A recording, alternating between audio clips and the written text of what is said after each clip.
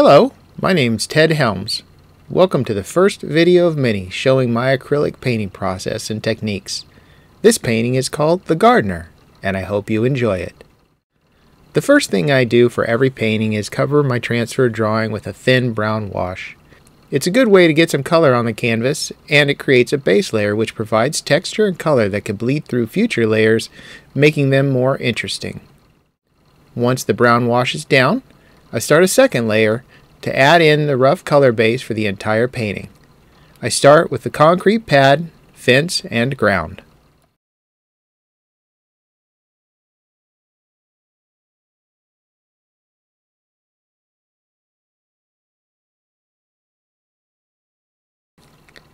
I use black to indicate a plastic flower pot behind her hand, some of the ground nearby, and for the shadow color of her garden trowel. Continuing to add base colors, I use black on the cracks between the rocks and the wall, add some darker areas to the ground, and then add some gray to her garden fork. Her wings are next, and I use black as the base color for her wing frame.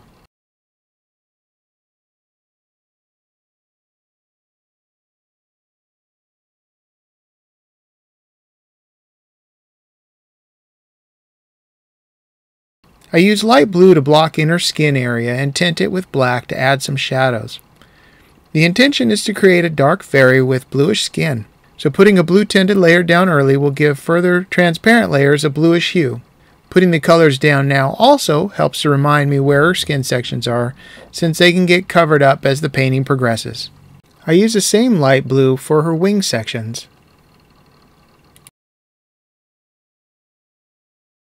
I use a thicker black for the dark shadows and creases of her overalls. The other areas receive a thin black wash to block them in.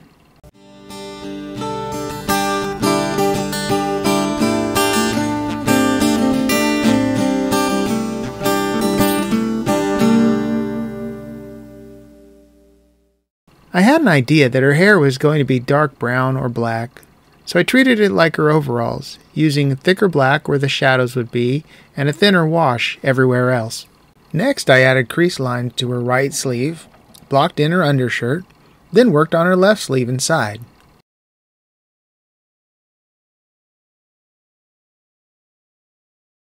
I add in a few other base color bits, including the stick holding her hair up, darkening her eyes and lips, and adding some deeper shadow areas into her hair. The rock wall is next. I mixed most of my colors by hand and used a couple of gray shades for the gray rocks and shades of yellow ochre mixed with brown to create the base rock color along with the dark areas on the rock face. I like mixing the colors myself because as I add new layers, the new shades add texture to the areas being covered, making them more interesting, in my opinion. A lot of painters say paint dark to light, and I tend to agree with that on an object basis. However, from a painting basis, I paint from furthest to closest object, because as I add closer objects, they overlap those behind them, and it helps to create a cohesive scene. In this case, the fence and rock wall are the furthest objects, so I start working on the fence, using a light beige wash made from mixing brown and white.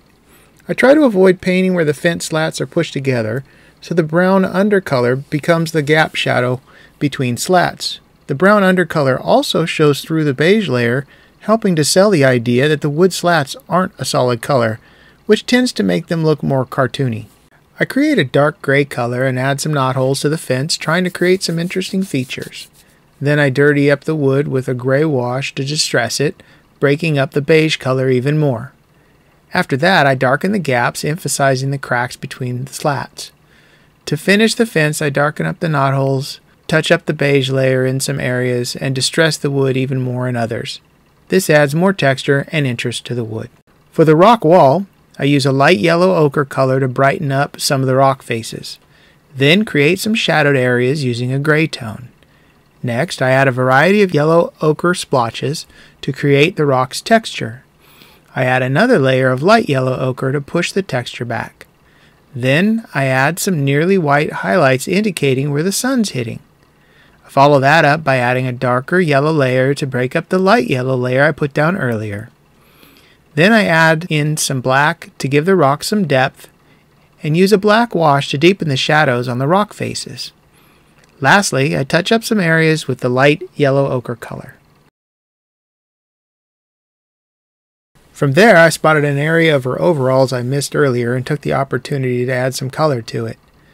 Then I used the light yellow ochre color as the base color for her shirt. Moving back to the rocks, I start working on the next batch using the same techniques as earlier. Essentially, I'm making a semi-transparent sandwich. I put down the base color layer, put in a detail layer, then cover the details with another color layer, and add highlights and shadow washes where needed, being sure to blend them in with the top color layer.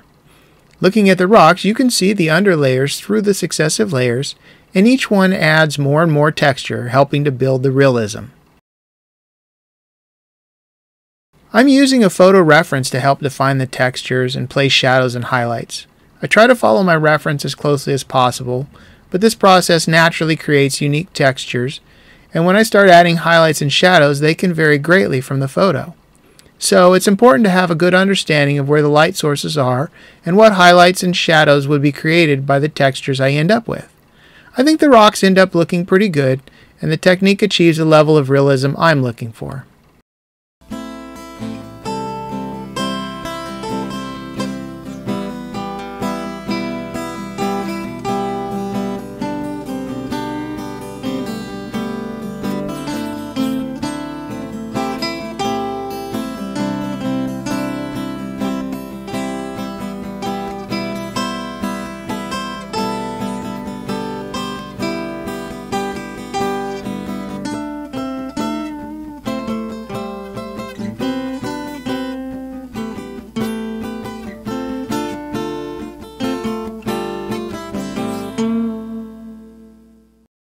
It takes about an hour and a half for me to finish painting the yellow rocks. Then I start working on the gray ones. These rocks get the same treatment as the yellow ones, except with gray.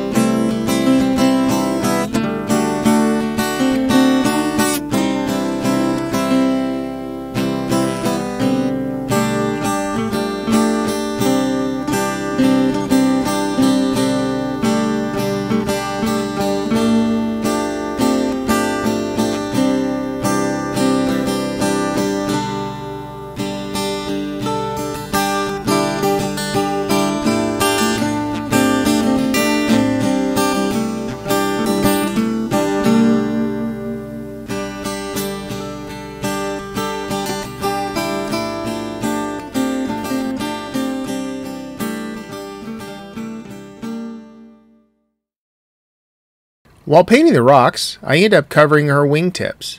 So I use black to add them back in and work to finish the rock details. This painting was interesting in that I don't usually put as much time into the background as I do the foreground. But in this case, the background was quite close, and I felt it needed to be treated with more detail. Thanks for sticking with me through the rocks. We'll be moving on to the garden area soon, but first, I need to add another layer to the concrete slab. Now, this is a dark fairy who likes her bling, so I decided she was wearing silver gardening gloves and boots. In the past, I used shades of gray to mimic silver. However, I recently purchased silver metallic paint and wanted to try it. As I applied the silver paint, it was obvious it was too transparent to use as a base color layer. That was disappointing, but I do find a solution that works out well. I also purchased some neon paint, and this was a great opportunity to use it. Unfortunately, it had the same issue as the silver paint, and fortunately had a similar solution. I move on to add another light blue color layer on her wings and skin. These are areas I'm not interested in having the brown wash show through, so I want them to be thicker.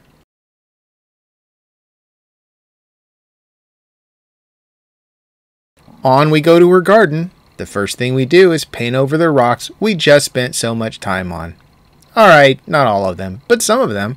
I think it's important to fully add background details in any area where an object's edges may exist. For the object to appear in the same space as the background, there should be a clean change between it and the background with no gaps between them. The garden plants have lots of edges, so to keep the realism, I needed to make sure the rock wall extended well below my expected plant line. For the first pass on the garden, I use a dark green wash of hooker green where the bulk of the plants are going to live. I was a little sloppy with this layer since a garden is organic and other layers will cover most of it. Then I start blocking out basic plant shapes using the hooker green undiluted for the shadows and mixed with various amounts of cadmium yellow medium to get different shades of green. I place some taller plant stems behind her wing, in front of the fence, and under her arm to add interest. Then go back to using my liner brush to better define the shadows. After that, I apply some midtones and finally the highlights, which have white added.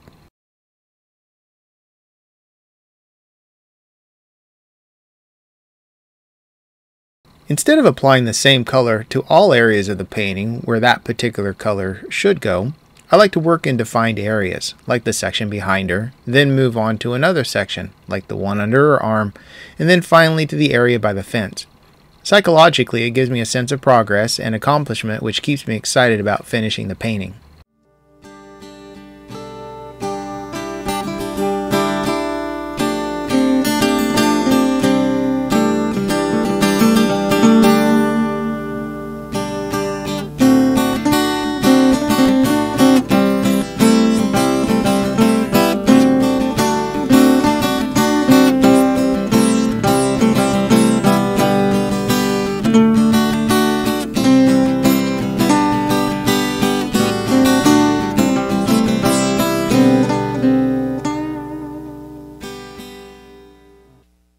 I add another coat of the silver paint to her boots and gloves in the hopes that it would help. It did, but I could still see through both layers of the silver. And while I like transparent layers, seeing brown through the silver one doesn't work for me. Back to the garden. Dead leaves have fallen from nearby trees, so I rough in a mid-tone tan color. Then darken the ground in the areas where there's no garden cover and add in even more dead leaves to both the ground and concrete slab. There's an empty black flower pot next to her hand and I work on it using a black-gray palette. Then I decide her overalls need another black wash and I rough in her eyebrows and add shadows to her face. I also give some of the leaves shadows.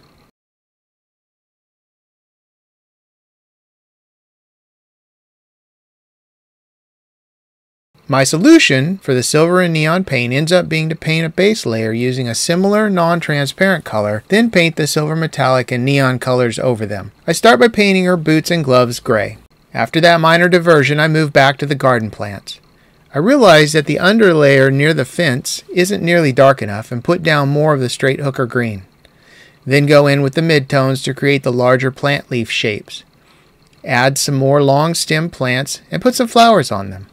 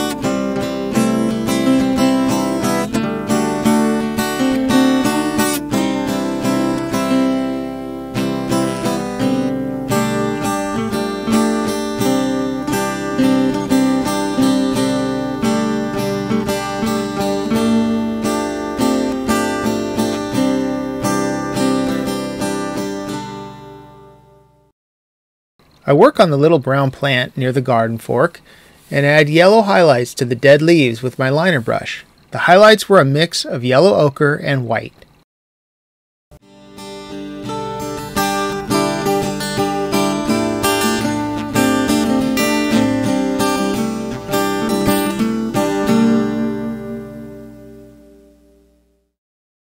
Well, the garden's finally done, so I start working on her wings next since they're the objects furthest back.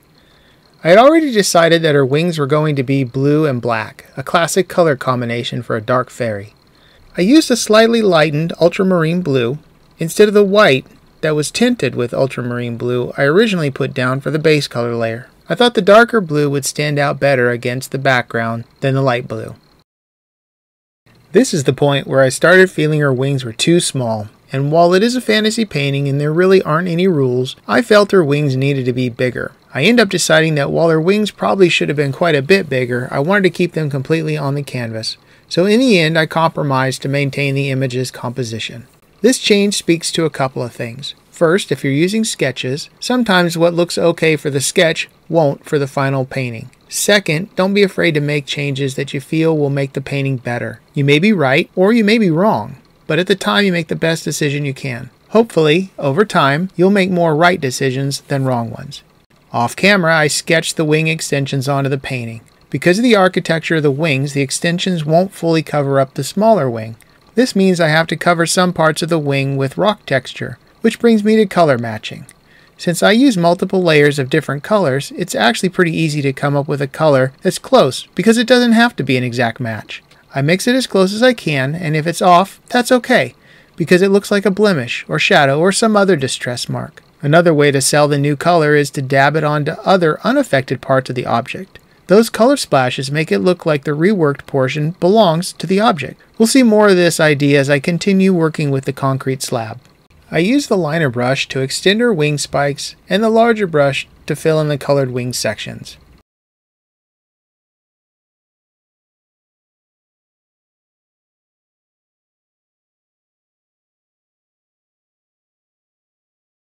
My youngest son suggested putting white dots on the wings like some butterflies have. Initially, I didn't want the wings to look like butterflies, since that seemed ordinary to me, but after thinking about it, I decided it was probably a good idea. I used Google Images to look up some reference photos, and that led me to one that not only had white dots, but a blue color gradient. I decided to use both the dots and the color gradient to add further interest to her wings. I used Blue Purple 75 by Liquitex to create the gradient using white to lighten it for the top sections and straight from the tube for the bottom ones. This color gives a nice luminescence to the painting.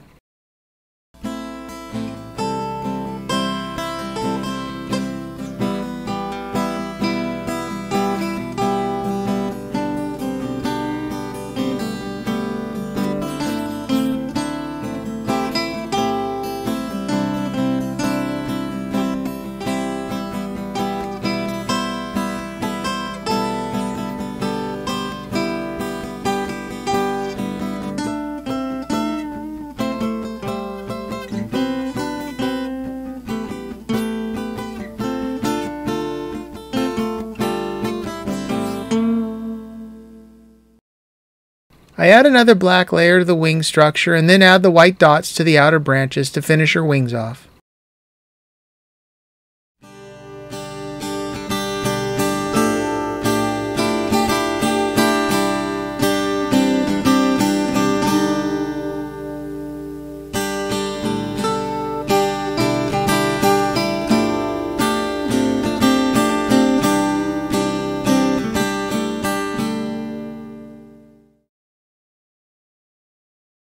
Along the idea of painting back to front, I also try painting bottom to top. With this painting, the bottom objects are the dirt and concrete pad, then the fairy, leaves, and garden trowel sitting on the pad. But between them and the pad is their shadows, so that's what I start working on next.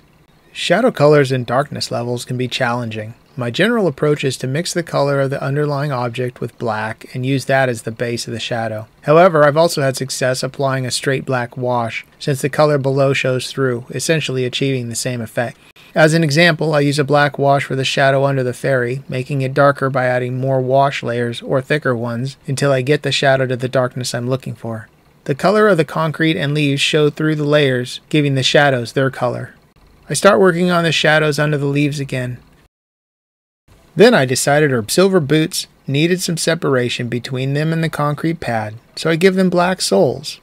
Now back to the leaves. Originally, I used a darker shade of brown for the shadows, but now I'm using that black wash to darken in some areas. I think the trick is to make sure there is an appropriate amount of darkness and color variety to keep the viewer's interest, or at least not set off their this looks wrong alarm. I lay in some shadows around the garden fork to help give it some shape, then over to the trowel and gloves adding more shadows. I decide to work on the trowel and fork some more by adding highlights. While I do have to think about where the light source is, I'm able to shortcut that process quite a bit by using my photo reference, which has the lighting issues already worked out. If you don't have a good photo reference available, you can mimic the lighting source by using a light source and an object of similar material and shape to see where the shadows and highlights are. Once you've done a hundred or so paintings of similar objects under various light sources, you'll probably be able to make up the shadows and highlights based on your experience but I'm not close to that yet, so I could be wrong, and you might still need a reference. The fork tines needed some more work, as well as the plastic flower pot behind it.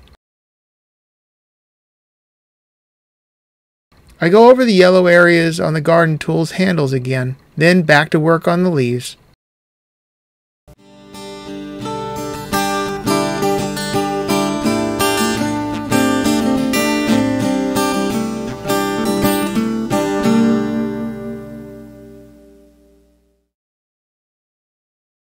Now we start to get to the really interesting part of the painting, the fairy herself. This image is particularly challenging since so many sections are both in back of something and in front of something. With an image like this, you just pick a section and go for it. In this case, I decided her skin was below more sections than it was above, so it was next. I decided I wanted blue skin instead of pink with a blue tint, so I mixed a little ultramarine blue with white, which was the original base color, and added another layer of the blue to her skin. I tint the light blue with black and use that for the shadow color on her face and chest. I use washes of different shades of blue to blend the shadows with her skin. The shadows on her chest proved to be quite challenging for me to get right. I find it can really help to move on from something difficult and come back to it later, looking at it with fresh eyes can sometimes help make it less difficult. So I got her chest to a point where I was okay with it, and then moved on to adding shadows to her boots. I used black and gray washes to create the shadows and blend them with the gray midtone color. For the shadows on her forearms, I used the same dark tinted light blue as I did for her face and chest, because her skin is light blue, I actually use a straight white wash for the highlights on her forearm and face. I use the base light blue color wash over the white and darker tinted light blue to blend them together. One of the trade-offs for using washes is that if they are too watery, the paint will leave rings of color when it dries. This is okay because you have the opportunity to redistribute that color with your brush while it's still damp. I use the brush as mini sandpaper and rub the bristles through the color ridge back and forth to push it around, blending it with the surrounding color. Using this technique, I can push the paint where I want and create pretty smooth blends.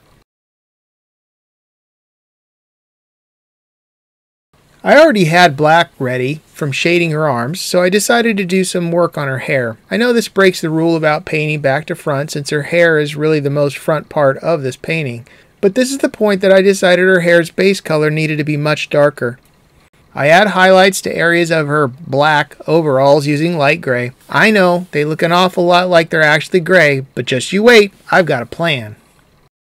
I bounce over to her shirt and, mixing white and yellow ochre to make a cream color, paint her right sleeve, skipping the darker crease areas I added earlier. Then I work on her left sleeve and side.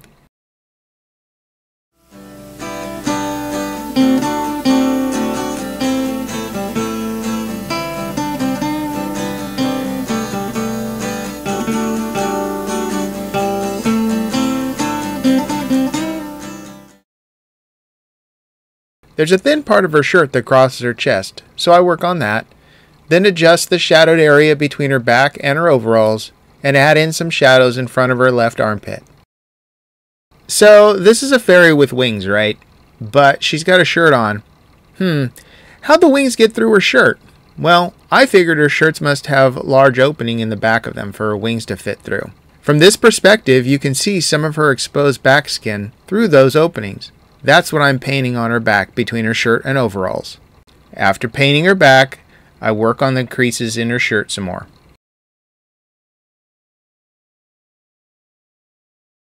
Like her wings, I decided her gloves and boots needed a change. Even though they were silver, they needed something more. After looking up some references of Gothic gloves and boots, I sketched in some more interesting features. I added ribbon ties to her gloves and buckle straps to her boots. I think the boots turned out better than the gloves, but I ended up being happy that I made the changes to both. I used the liner brush to add in shadows and create the ribbon ties on her left hand glove. I also add to the shadow made by her arm on the concrete to take away some of the glove volume, slimming it down a bit. Next, I use black to add shadows to her boot straps. There's one strap on her right boot and then all the buckles on her left one. After dropping in the dark shadows, I use light gray to highlight the metal buckles and a slightly darker gray for the straps. Her left boot had an interesting perspective challenge because I couldn't find any good photo references of a boot like this in this position, and I wasn't sure which parts and how much of the front of the boot you would see when kneeling like this. Fortunately, we had a lace-up boot that I was able to bend into the position and see exactly how it should look. The lesson is, if you're trying to figure out a perspective issue and can't find a photo reference, maybe there's something in your house you can use as a substitute.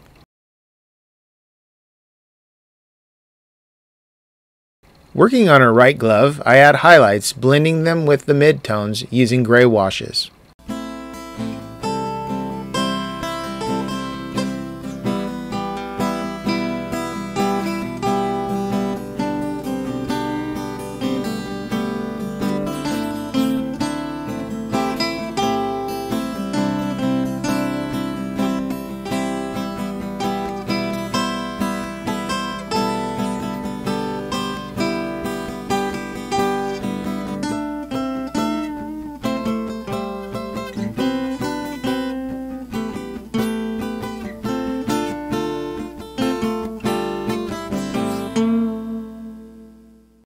As part of adjusting the shadows under her fingers, I had to try and color match to the concrete pad. I was close, but you could tell it wasn't the exact color. So I used the color splash technique I mentioned earlier. I layered the color I mixed randomly around the nearby area, making it look like it was a natural color difference occurring elsewhere on the pad. I think using this idea, the color mismatch can create interesting textures instead of something that seems out of place. I work on the left glove, continuing to adjust the shadows, then move over to the trowel, doing the same. One of the last adjustments on the trowel is to cover some of the shadow up with the concrete pad gray. This leads me to clean up a few other nearby areas. Now is the time to test my solution for the silver paint. I start applying it over the gray. Well, it ends up working, but as it turns out, it's not quite as simple as just putting a silver glaze over the gray. In addition to the base silver, I have to also mix dark and light tints, then blend the three tones together, like I did with the gray. It's okay, but it seems like a lot more work for the effect than I was hoping for. Maybe future efforts will produce better results.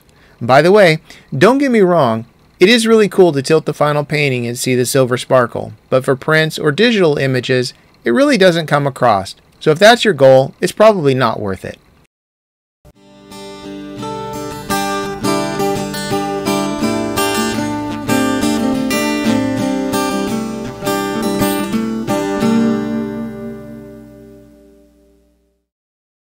After adding silver paint to the garden tools, I start working on her boots. I use the same techniques as I did on her glove, but her boots have a much more complex shadow pattern because of her body position.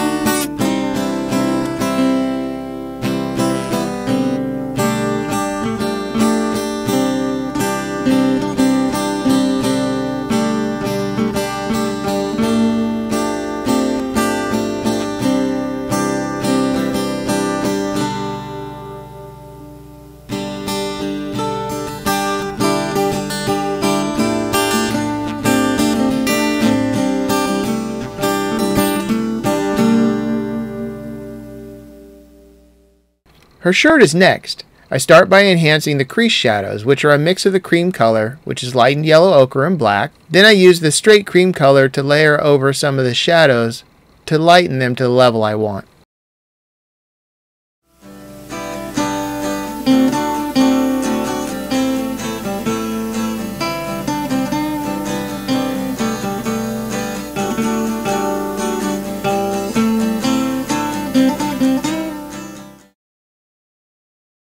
I block in the buckles on her overall strap and then add highlights to her shirt. Since the shirt is cream, I use straight white for the highlight color. It's not quite right, but it seems to work okay. If you think about the sunlight hitting her shirt, a yellowish light, the shirt's highlight color shouldn't be much different from its actual color, so a white wash allows some of the cream color to show through and ends up being enough of a difference that it reads properly to your eye. I use the same highlight color to lighten up areas on her shoulder and back. Then move to add shadows to the front of her shoulder and armpit area. It ends up that there's a lot going on with clothing folds. Essentially, a fold is a dark and a light area blended together. So if you have a bunch of these, as with her sleeve, you have a lot of blending work to do. Then, of course, the shadows will usually be darker in areas of deeper folds and lighter in shallow ones, so you have to make decisions based on that. If all the folds have the same shadow value, the object can look mechanical or structured. So your shadow value decisions play a major role in how the object is perceived by the viewer. With her shirt being organic, I wanted to make sure the fold shadow values were quite varied.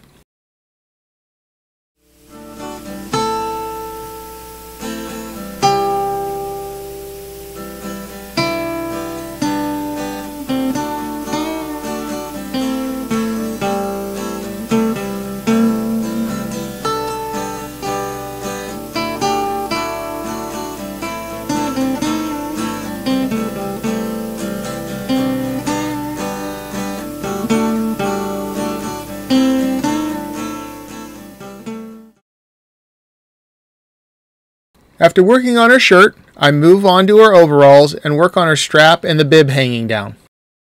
Using a photo reference can be both good and bad. It can help you quite a bit with lighting issues, such as with the folds and general proportions. However, if you're also using it to show how objects obstruct other objects, it can add to your work if you ignored it or maybe didn't pay very close attention early on. In this case, after looking at my reference, I noticed that there was a gap between where the overall strap ended and the top of the bib started. This gap showed her skin beneath the strap clip. So I had to make a choice. Do I ignore the reference and make the strap obscure her chest, or do I make the adjustment? Well, I guess my detailed obsession kicked in because I decided I had to make it look right, even though most people wouldn't even have noticed. I paint over the strap with her light blue chest color and repaint the buckle using yellow ochre.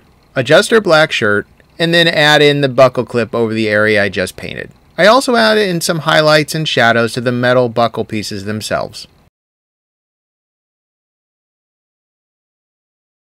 Then I work on the shadowed area in front of her bib using black and gray washes. I start adding my neon yellow to the garden tool handles. I was able to apply the neon yellow straight to the handles because the area was so small. I didn't have to mix and blend multiple shades like I did with the silver. It worked out well and the yellow underlayer supported the neon layer nicely. I finish up with the garden tools, then do a little touch-up work to thin out the cream shirt covering her chest. The shirt line was too thick for me, so I painted in more of the background to make it thinner. After that short detour, I worked to block in shades of gray on her black overalls. I know, they look even less black now, but don't you worry, I've still got a plan. While I don't feel I'm very good at blending colors using the more traditional methods, I think I did okay with the overall pants, using gray washes to blend between the colors. Doing this, I can push the paint where I want, then let it dry and use my brush to rub off paint where I don't want it. This gives a feathered effect along the edge, and I think it blends the colors well. Let me know what you think in the comments.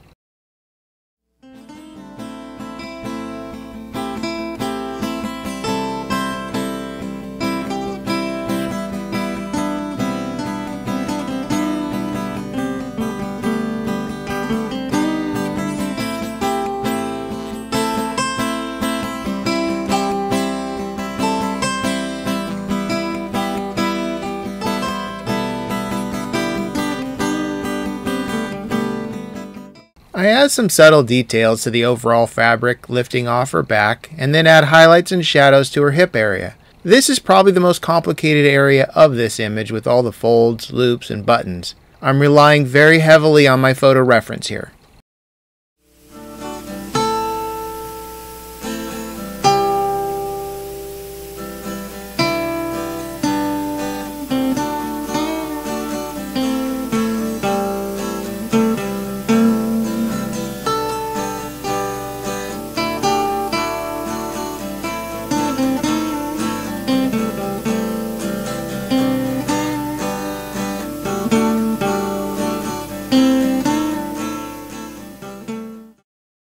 At last, I'll reveal my plan to turn not black overalls into black ones. Washes. Yep, that's it. I put a few layers of thin black paint over the areas I've already shaded, and all of a sudden, she's wearing black overalls. Who knew? Alright, I've already done this on the wings and to some extent on her chest, so you might have guessed. But this is probably the most dramatic example of the technique on this painting. Hopefully this shows a useful way to use washes. I add some more color to her shirt, working to get the lighting right on it. I work on her wrists, darkening the shadows of her left shirt cuff and forearm. Then I darken some of the fold shadows on her sleeves and side.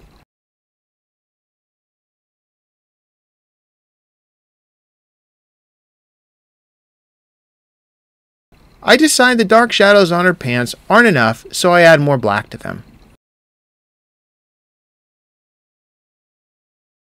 I use the black to darken the shadows in her hair. Then I create two yellow highlight areas across the top of her head, and then add in some medium brown to break her hair up. From her hair, it's back to the shadows on her chest and working to make both the lighting and blending better.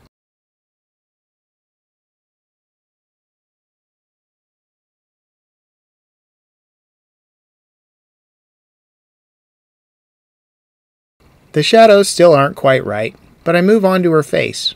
For scenes with characters, their face is usually the most important part of the image, and right now she seems a bit plain. So I accentuate her features by darkening them using black and ultramarine blue.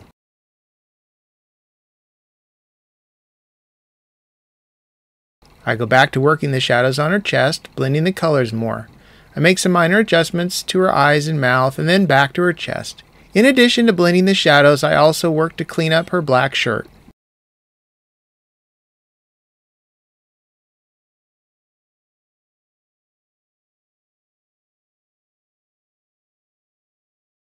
I add white highlights to her nose and around her eye, then darken the area around her nose and blend it into her cheeks. I darken her mouth and the shadows under her nose, and then I darken her eyelids and the area under her cheekbones.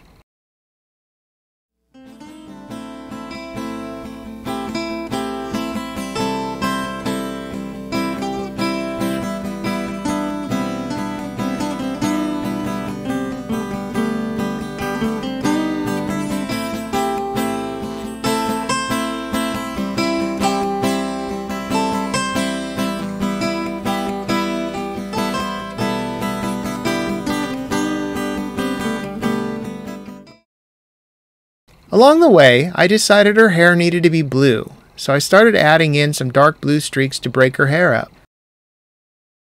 I add light blue highlights and use a mid-tone blue to blend the light and dark areas.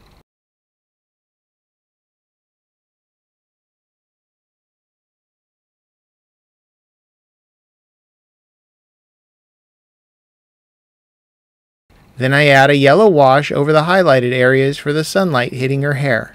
This does give it a slight green tint, and I'm pretty sure blue hair doesn't read as green in sunlight, but it ended up looking okay. I follow that up by adding white slightly tinted with blue to push up the highlights in a few select areas. Then I blend it together with a blue wash and add some more mid-tone blues to further break up some of the darker areas. Now we're in the home stretch. I do some more cleanup work on her face, chest, and neck, I decided her black shirt was a touch too high and lowered it a bit, all while still trying to get the shadows right. After changing the shirt line, I work on her nose and eyes for a while. I'm widening her nose a little and adding some shadows to her eyes. Then I touch up a few other areas around her face.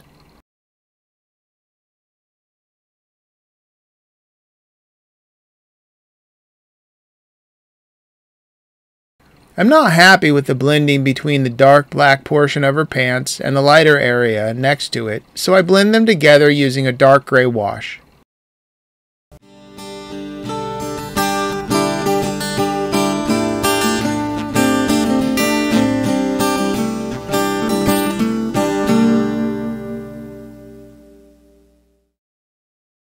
I do a little more touch-up work in a few other shadow areas, including one last adjustment to the shadows around her neck.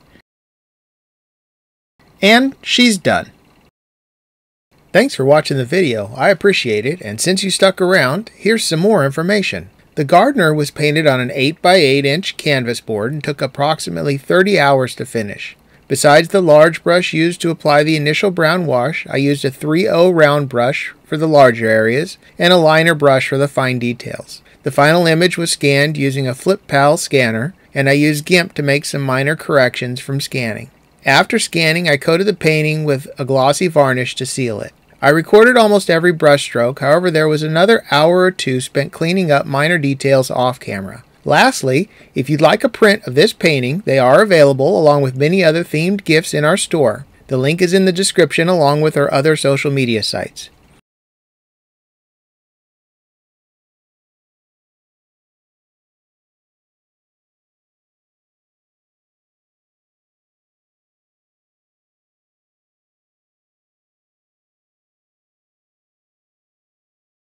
Hey everyone, this was our first video and I'd love to hear your feedback.